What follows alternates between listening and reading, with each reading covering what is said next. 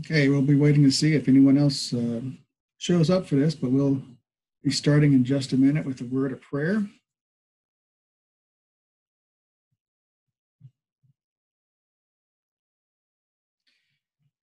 Yeah, flash over your um, your mouse over the screen. You'll see down at the bottom. There'll be a, an option for chat. Having everyone else, um, everybody else, ask questions through the chat. If they have any questions about it, and then um, you could uh, join in and ask questions, and I'll see what I can do for you. Okay. Well, let's start with the word of prayer, shall we? In the name of the Father, Son, and Holy Spirit, amen. Gracious God, Heavenly Father, we are thankful that we can get together this morning to study your word and get a greater understanding about the book of Revelation. We pray now, Lord, that you would grant us your Holy Spirit that he may enlighten our hearts and minds to your word. We may receive it and be able to better explain the faith to others, those around us. In Jesus' name we pray. Amen. Okay, so the uh, very first, you know, this is going to be seven keys to understanding Revelation, seven things you really need to know about um, if you're going to understand the book of Revelation in any reasonable sense and not go off into all kinds of crazy theories and the like. Uh, one of the things we, we note, I've already disinfected my hands, uh, is that uh, you need to know the First key is understanding the end of the world and the rest of the Bible. The book of Revelation is a vision, and therefore, because it's a vision, it should be interpreted as a vision. Everything in there is symbolic, um, unless there's a good reason to interpret it literally. Now, St. John certainly saw everything literally, but uh, the things he saw were mostly symbolic. Um, also, in Revelation, another thing you understand of the whole of the you need you understand the clear passages of the Bible, and that Revelation overall is a it's a full. Uh, it summarizes all of Scripture into uh, into one book, okay, and it does this several times. All right, so anyway, with that, uh, let's start looking at some of the scriptures uh, that help us understand the book of Revelation better. And, and the most, probably the most important uh, part of the Bible you need to understand to understand the book of Revelation is Exodus. Because uh, the book of Re- Revelation is the Christian's Exodus. Okay? As if you have any questions, feel free to, uh, uh, to use the chat button to ask questions, uh, and we'll, we'll take care of that. All right, so uh, we're going to turn to Exodus chapter 7.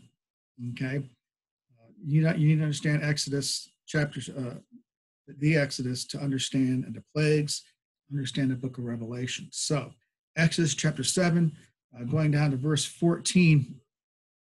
Uh, says, and the Lord said to Moses, Pharaoh's heart is stubborn. He refuses to let the people go go to Pharaoh in the morning. Um, as he's going out to water and station yourself between him and the bank of the Nile. Uh, you're not working on mine.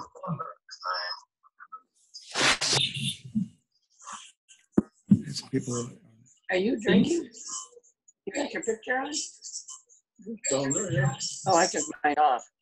Hey, uh, Karen, did you turn your, did you mute your phone? What? Can you mute your phone? Your iPad? I'm trying to, Okay, it's not letting me. Okay. I'm mute.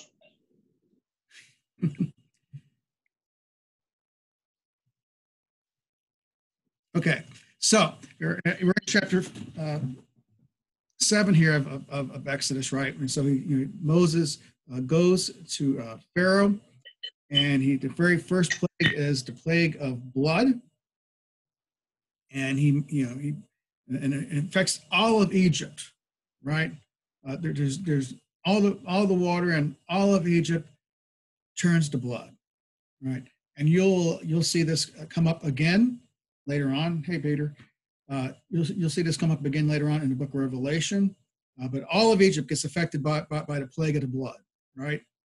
All right. Then, if you go to Exodus, uh, and of course, you know, things move on.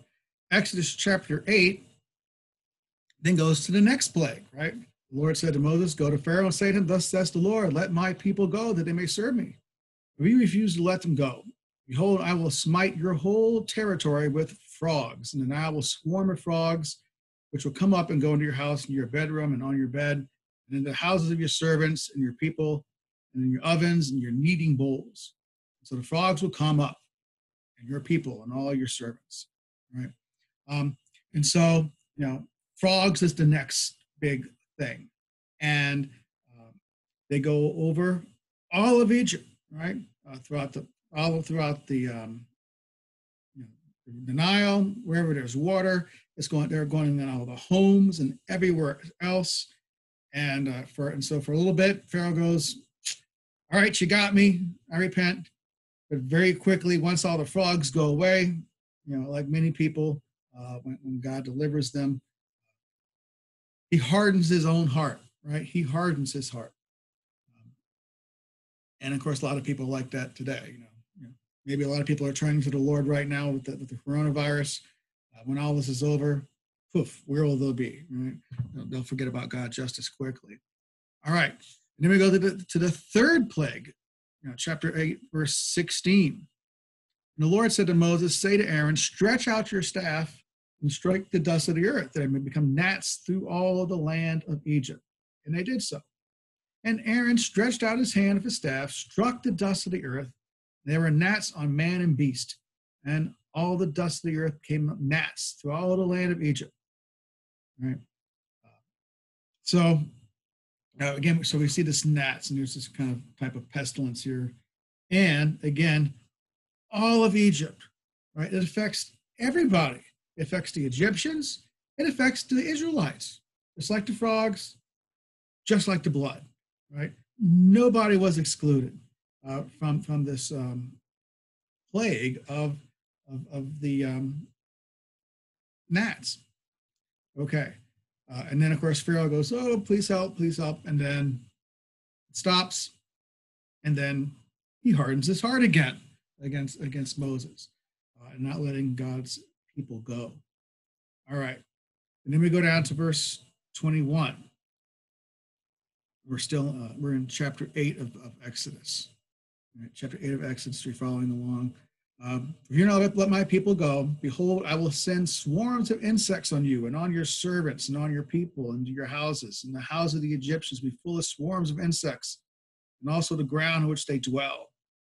But, this is important, on that day, I will set apart the land of Goshen where my people are living, that no swarms of insects will be there, in order that you may know that I, the Lord, am in the midst of the land. And I will put a division between my people and your people. Tomorrow, this sign will occur. Right Now, this is really big, right? So the first three plagues affect everybody the Egyptians, the Israelites, you know, no distinction between people. But now, the swarm of insects, right, there is a um, there's a distinction between God's people and the Egyptian people. And this is very important when we get to the book of Revelation because you will see this come up again there. Okay. And of course, uh, the Pharaoh again repents, then he hardens his heart.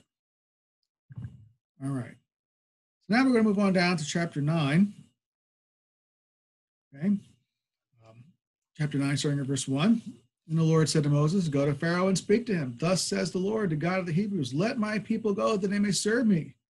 For if you refuse to let them go and continue to hold them, behold, the land of the Lord will come a very severe pestilence on your livestock which are in the field, on the horses, on the donkeys, and the camels, on the herds, and the flocks.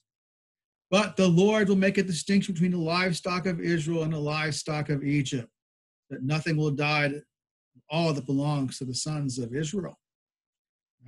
So here again, we got this, uh, this distinction. We got this pestilence that falls upon all the livestock, but only on the livestock of the Egyptians, not God's people.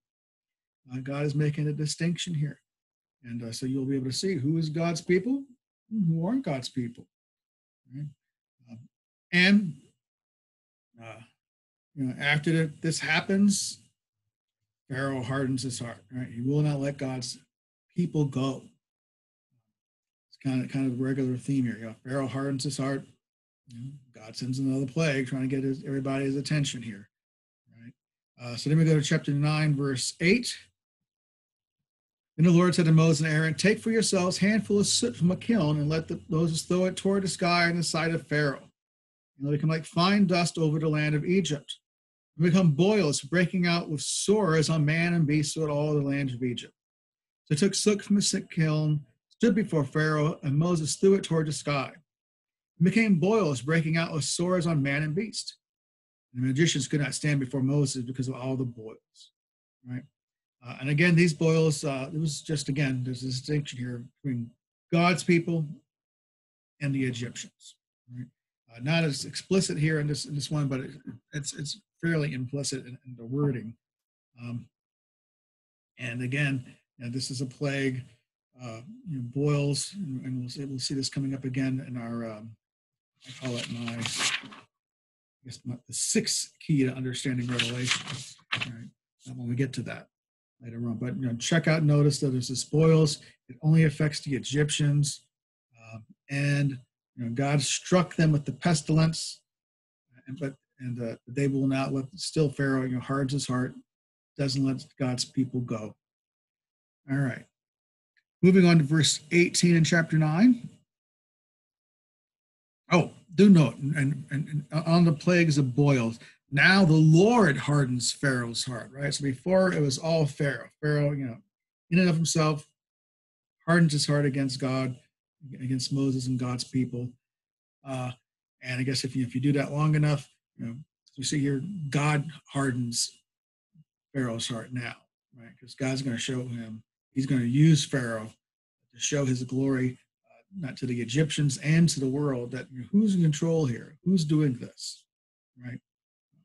he is, you know, and while he's doing all this, of course, when God's striking down the Egyptians with all these different plagues, you know, it's kind of noticing that the, a lot of these different plagues are also uh, were gods of Egypt, you know, frogs, gnats, livestock, right? Uh, that they worshipped all these things. And God's like, huh, I'll show you. You gonna worship these?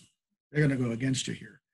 All right. So uh, so the Lord hardens the Pharaoh's heart in verse in, in, the plague boils. Now in verse 18, behold, about this time tomorrow I'll send a very heavy hail, such as not seen in Egypt from the day it was found until now.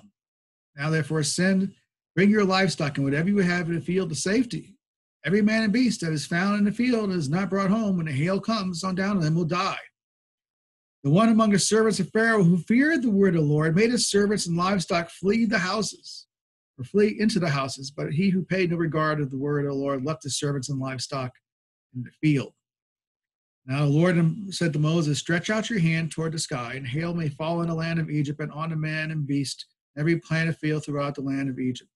All right, so uh, this hail came down uh, as, as, as God predicted and as he warned.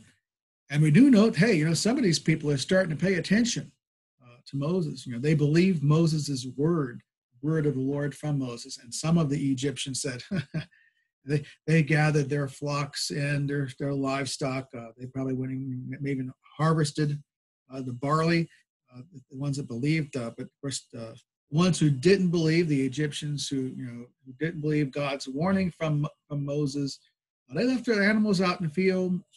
All their, their, their barley was out in the field. It was ready to be picked uh, but it was all destroyed by the hail.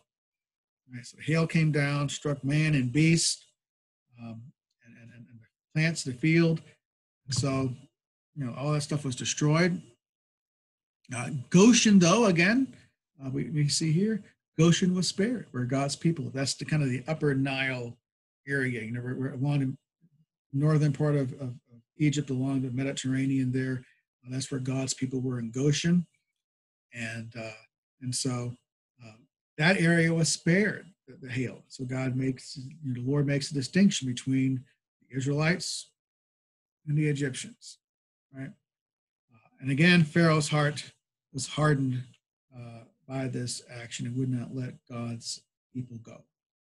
All right, we move into chapter 10. Um, starting at verse 1, the Lord said to Moses, Go to Pharaoh, for I have hardened his heart and the heart of his servants, that I may perform these signs of mine among them. And you may tell in the hearing of your son, your grandson, how I made the mockery of the Egyptians and how I performed my signs among them, that you may know that I am the Lord. Right? So uh, this sign, these are signs for us. This is a sign for the for the Israelites. It's a sign for God's people, the church. You know, as, as the Lord hardened Pharaoh's heart now, because Pharaoh, you know, Pharaoh has been hardening his heart against the Lord all this time. Now God says, "Okay, I'm hardening your heart now too." Uh, so he would be an object of, uh, of, something for us to learn from. You know, don't don't do what Pharaoh does and, and says and the like.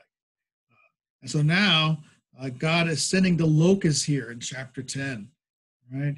And uh, remember the, the barley was was ruined uh, by the by the hail, but there was still the wheat and the spelt. They were left safe. Right?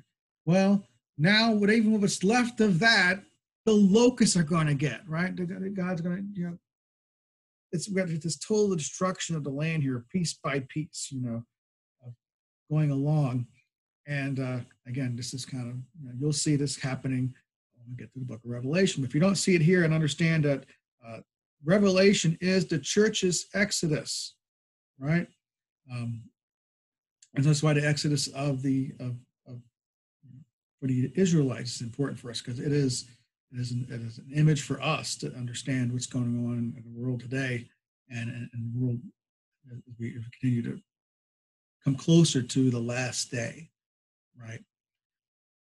Okay, so uh, the locusts go and they do everything, and they only tear up all, all of Egypt, but leave Goshen along alone now.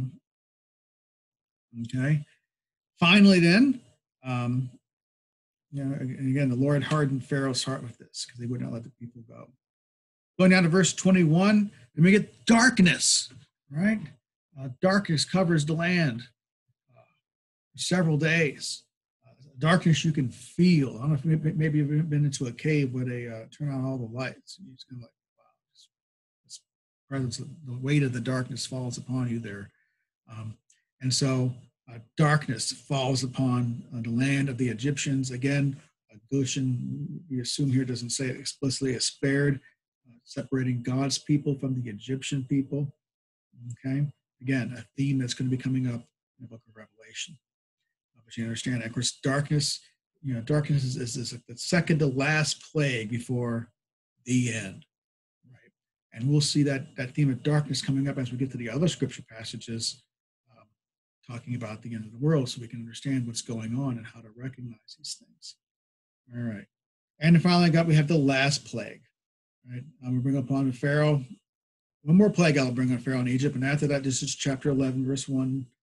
Um, and after that, he will let you go from here. When he lets you go, he will surely drive you out from here completely. Going down, of course, this is the plague of the firstborn, right? At midnight, verse 4, I'm going, to, going out into the midst of Egypt, and all the firstborn in all the land of Egypt shall die. The firstborn of Pharaoh who sits on his throne, even the firstborn of a slave girl who's behind the millstone, all firstborn cattle as well. There'll be a cry in Egypt which has never been before, and never be again. Right?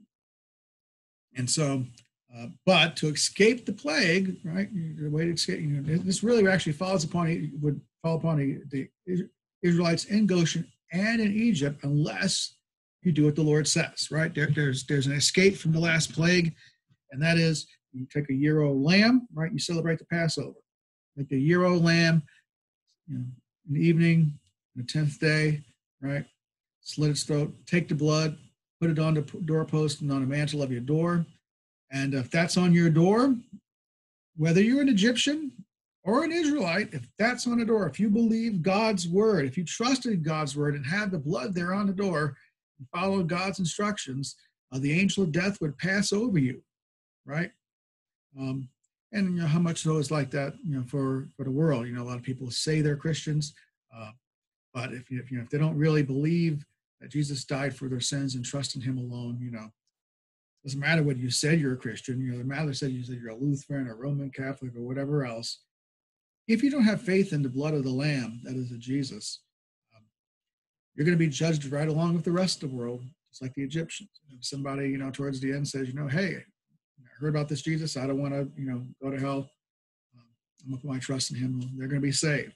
It's like the Egyptians uh, who, uh, you know, believed God's word through Moses. They even left some of the Egyptians that believed the word of the Lord. They left with the uh, Israelites when the Israelites finally left. All right, so that's that's the book of, of, of Exodus and, and the, plagues. And if you don't understand these plagues, you don't give a good understanding and know what these plagues are.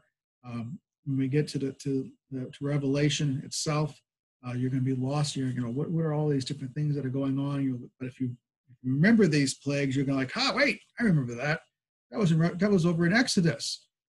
Now it's happening in this slightly different way though, but the, but the images are pretty much the same. All right, so now let's take a look, a look at somewhere else where the end of the world is described and, and, and, and clearly in the Bible. Uh, Isaiah chapter 24.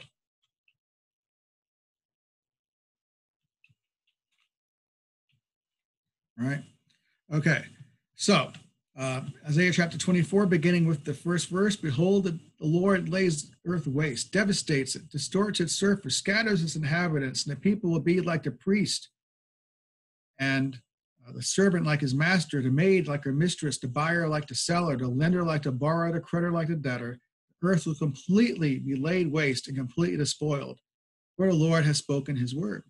The earth mourns and withers, the world fades and withers and exalted people of the earth fade away. Right? Uh, the earth is polluted by its inhabitants for transgressed laws, violated statutes, broke the everlasting covenant. Therefore, a curse devours the earth. Those who live on it are held guilty. Therefore, the inhabitants of the earth are burned, and few men are left. Right. Uh, so here we got a little, little, bit of description here in Isaiah chapter 24 of, of, of the last days of things that are going to be happening.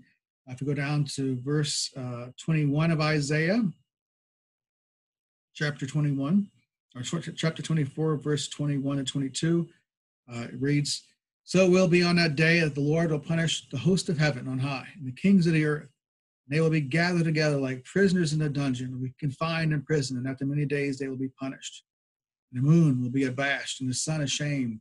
For the Lord of hosts will reign on Mount Zion and in Jerusalem, and his glory will be before his elders. All right, so here we get a picture in Isaiah of, of the last day of, of, of judgment um, and the Lord, uh, you know, He gathers together uh, the peoples of the earth and those who, re- who reject Him and reject Jesus uh, for punishment. Uh, we also again see that that moon. You remember over in Exodus, the second to last plague was you know the sun turned dark, and here in verse 20, um, Isaiah 23, 24, 23, the moon's abashed, the sun's ashamed, right? So you know darkness will come. You know, so if you're walking along one day and all of a sudden you know, there wasn't an eclipse planned and boom, you know, sun's dark, right? Or if it's nighttime, that the, the, moon becomes you know like blood and dark, and all the stars in the sky go dark. You know, look up, Jesus is coming, right? Uh, so that's a very big theme uh, of, of, the last day is, is, is darkness before reflecting uh, that last, second to last um, plague upon uh, the Egyptians. All right. Uh, turn Isaiah 34. I'm doing this on my computer so I can get to it quickly. I'm cheating. Okay, so uh, Isaiah 34, uh, verse 4. All right, and it says, All the world, all the hosts of heaven will wear away, and the sky will be rolled up like a scroll, and their host will also wither away, as the leaf withers from the vine, whereas one, one withers from a fig tree, right? Um, and so again, we got this whole thing of, of uh, things turning dark again, right? Uh, of course, there are verses before that, you know, God brings his wrath against the nations. At the, at the end, you know, we, we're oftentimes so afraid of, you know, the Antichrist, right? Uh, and, you know, Antichrist, you know, waging, you know, you know, wars and, you know, World War Three, you know, some people get this idea of World War Three, and that's the, that's the end of the world. Um, you know, nations against nations. When you know, nations against nations is just, uh, you know, those are just preludes, right? The last world war is uh, the world, right? The Antichrist and, and his armies versus the church and the Lamb, Jesus Christ. You know, they're waging war against the church. Um, and of course, you know, here, you know, uh, verse uh, two, you know, Isaiah 34, uh, two, you know, his wrath uh, against all his armies, utterly destroyed them. He's given them over to slaughter. Uh, we'll see this later on in the end of Revelation. Uh, slain, thrown out, corpses will give their stench, mountains drenched in your blood. You will see all that in, in the book of Revelation. So here it is in you know the Old Testament. You don't see this here. Uh, verse five: My sword is satiated in heaven. Right. Uh, you know, we'll see that later in Revelation 19. The sword coming out of Jesus' mouth, striking down people. Okay. Um, and then uh, we'll turn to Ezekiel chapter 38. You can see what that's going on there with the end of the world.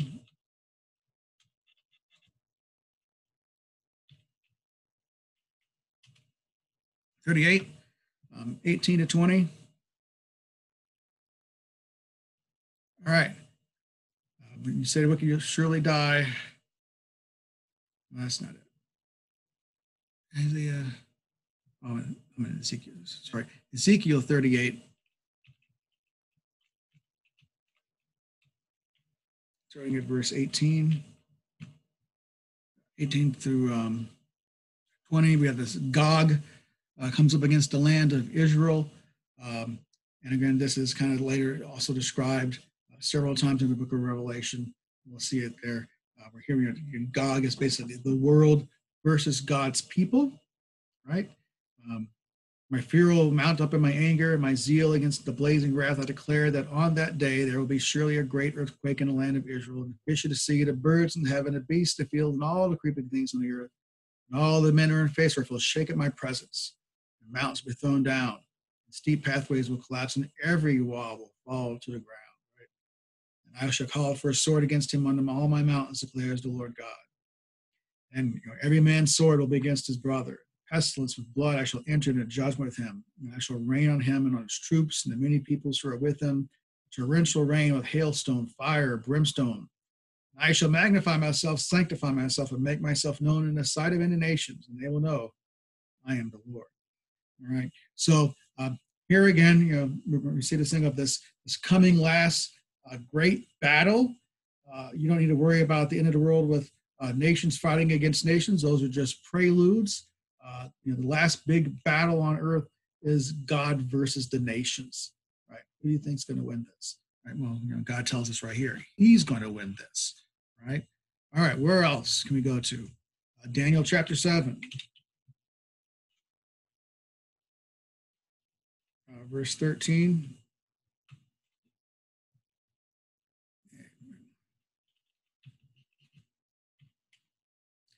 All right, verse 13. Um, we go. I kept looking into night visions, and behold, with the clouds of heaven, one like a son of man was coming. And he came up to the Ancient of Days, was presented before him.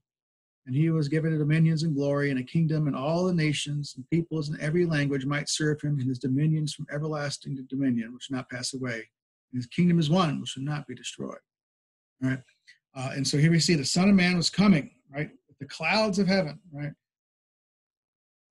you see somebody coming down the clouds of heaven, right? And all the angels and whatnot. Um, that's the last day.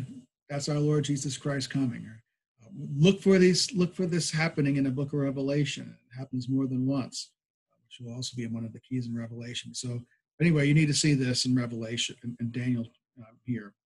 Um, that um, you know, the last day, Jesus comes with the clouds. All right. Also in Daniel chapter twelve.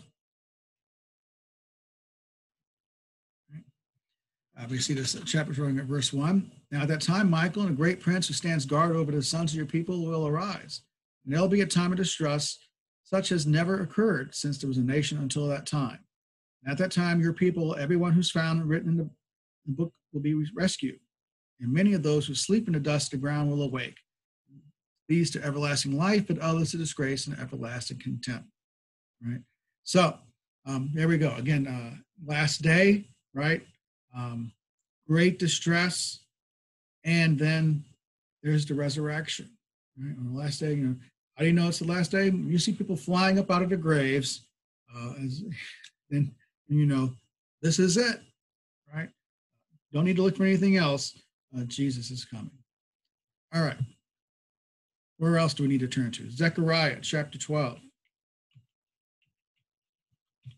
If y'all have any questions, you can, you know, type them in down in your chat box towards the bottom. You'll see a little thing that says chat.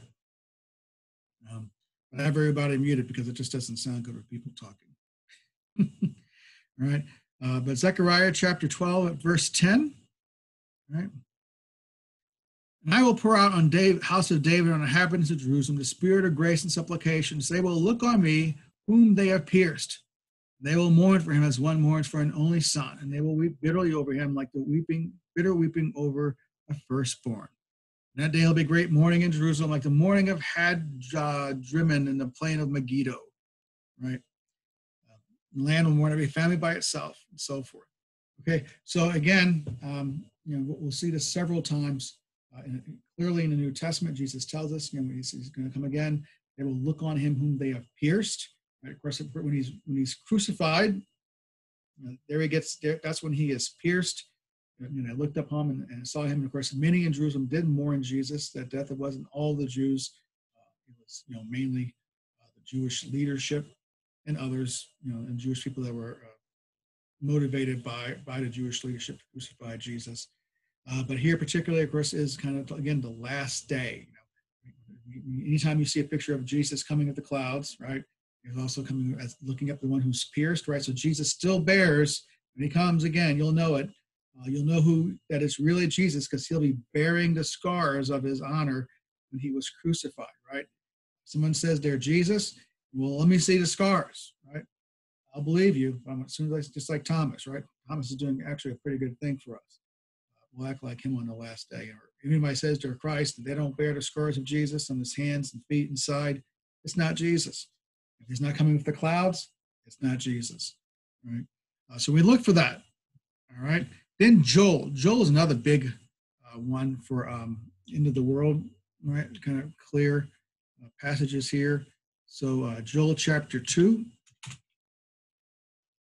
right? Uh, following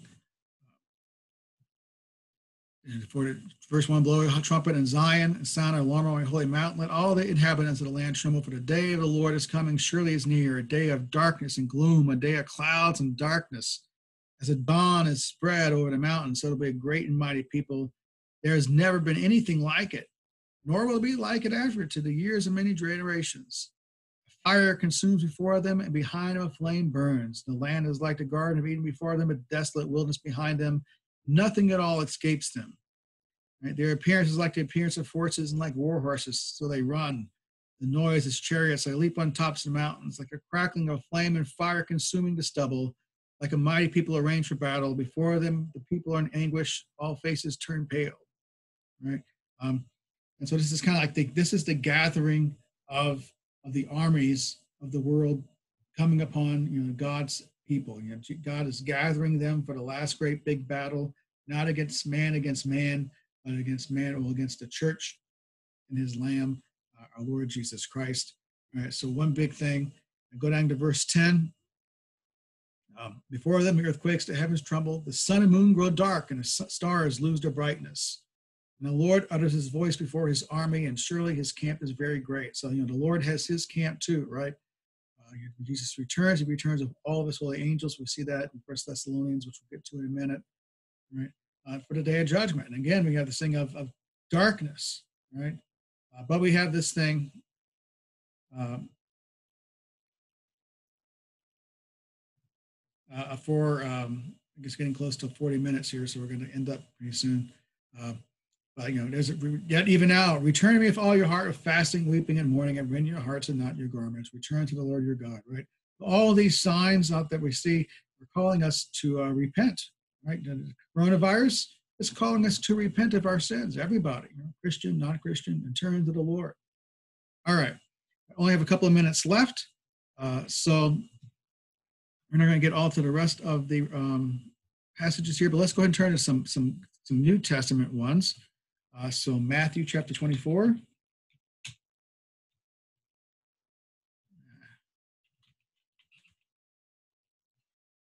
Twenty-four, verse twenty-nine. Uh, Jesus tells us, but immediately after the tribulation of those days, and in Matthew twenty-four, the whole thing there is, is a, you know, it's two things. One is the descriptions of the, the coming of the end of the world, wars, rumors of wars, right?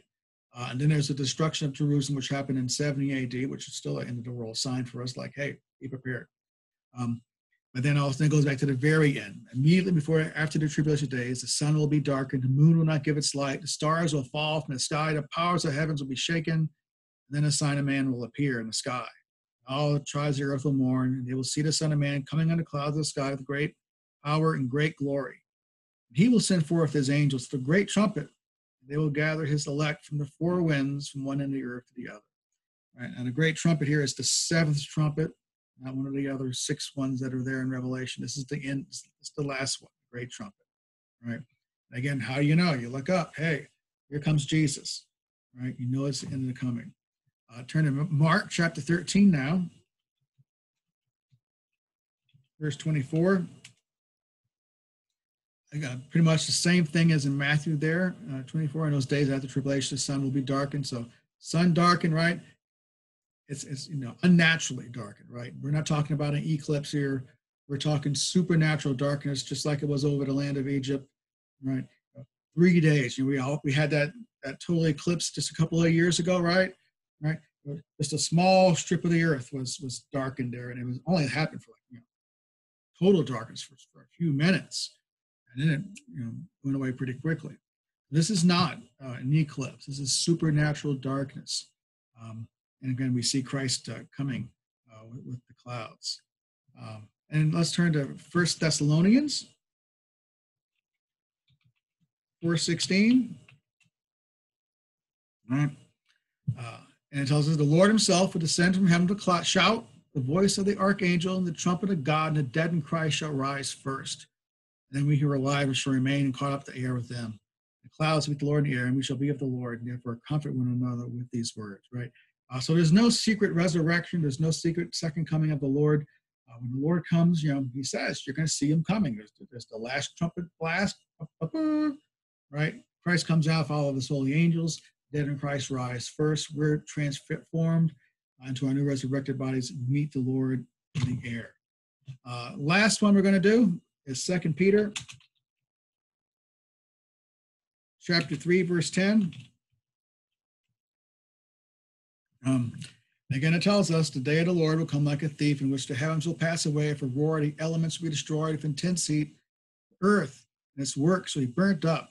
It's all these things um, are destroyed this way. What sort of people ought you to be? And conduct yourself in holy conduct and godliness, looking for and hastening the coming of the day of God.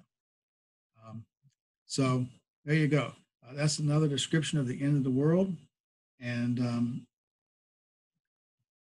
and that way, you know, we, you know what's going to happen. Okay, um, it's, it's going to be devastation, total devastation on that day. So you don't need to worry about it. All right. So if you don't have these things, you know, in the in the midst of your mind when you're studying Revelation, you're not going to understand what's going on. Right? Uh, you're going to see all these elements taking place in Revelation. Revelation really kind of summarizes the whole Bible uh, from Genesis uh, all the way up to Jude. It, take, it covers different portions of time. And uh, you'll see all these themes coming up in the book of Revelation in symbolic form, right? You're going to see uh, the separation of God's people versus the people of the world who reject Jesus, right? You're going to see some form of the plagues of, of, of, of Exodus upon the world in some symbolic form uh, taking place there. And so you'll be able to recognize that at that time. Okay.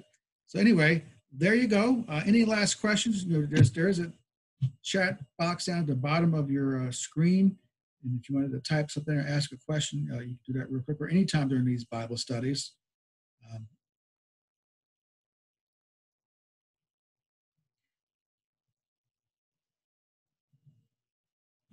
okay. See anyone asking any question. Oh yeah, Peter, go ahead. Can you type it? Okay. Well, I, I, I unmuted you. Go ahead. Okay. Can you hear me now? I can hear you. Okay. I was just wondering, is Revelation basically written to the people at that time or this time primarily? I mean, a lot of things that seem to be in Revelation is written to the people at that time for the tribulation they were going through. Is that true or is that something you understand? It's, it's, it's one of those great Lutheran both ands. Uh huh. You know, it was certainly written for the people of the time that John was, um, you know, the, Lord was revealing this to John to. Okay. And they, they certainly experienced some of that stuff, but also a lot of stuff in Revelation uh, is for the time of the church. Okay. Uh, so it's going to cover, you know, it was there for their comfort, but it's also for, for our comfort and strength as well. And, and we'll, we'll get more into that as we uh, dig into the other keys of Revelation. But yeah. Uh, And, and do you do you believe Revelation was written after the fall of Jerusalem or before?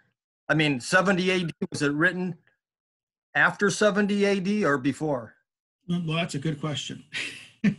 Okay, yeah, and uh, I, yeah, it's I'm not, I'm not 100% sure, but I'd, I'd probably go with before. okay. I, I think it's an early date. Yeah, I, I I tend to believe that too, but I like you said, it's very up to you know. But I was just curious about your you know where you're coming from. But thank yeah. you. Yeah. Well, yeah, it depends, you know, when John was in exile, you know. Uh huh. So, Exactly. and so who knows? But uh, that, but the message of Revelation is still for us today. Uh, even you know, if, if it had some immediate context, it certainly had some immediate context, and we'll and we'll get to that kind of when we when we talk about the seven churches. Uh, some, uh, but yeah, it's, it's definitely for uh, for the people of the day, but it's also for us today too to understand this. Right. things. And uh, Christians should not be afraid of it. Uh, it is a book of great comfort for us as Christians. You know, if Jesus is our Savior, we, we don't have anything to worry about. Not that we won't undergo some of the things that's in Revelation, uh, but you know, we're, we're looking for the Lord to come, and we know where we're going to end up when all of it's over and done. So, Amen. right, all right. Hey, we're gonna have a let's have a little quick closing prayer, and um, I'm not sure which day we're going to do this again. I'm gonna do, do- we're to do this. I guess we'll probably do this weekly. So next uh, next Thursday morning, um, we'll we'll have this again, and we will be discussing the second part of, of Revelation, the second key, which is the end of the world. If you don't, if you can't recognize the end of the world, Revelation is not going to make any sense to you, or you're going to make a mess out of interpreting a book of Revelation. So, so next next week uh, we'll we'll discover we'll, we'll go through the book of Revelation, talking about the end of the world, the last day. Uh, you can't identify that, which I hope you, uh, looking at the stuff looked at elsewhere in the Bible describing the last day, you'll be able to identify the last day in the book of Revelation. I'll just give you a clue. It happens seven times. seven times the end of the world is described. So we'll discuss that next week. So let's have a little, we'll close with the uh, Lord's Prayer and uh, God's blessings on your day. Our Father, who art in heaven, hallowed be thy name. Thy kingdom come, thy will be done on earth as it is in heaven. Give us this day our daily bread and forgive us our trespasses as we forgive those who trespass against us. And lead us not into temptation, but deliver us from evil. Thine is the kingdom and the power and the glory forever and ever. Amen. And uh, the Lord bless you and keep you. The Lord make his face shine upon you and be gracious unto you. The Lord have his countenance upon you and grant you peace. Amen. All right, guys. Thanks for showing up. God's blessings.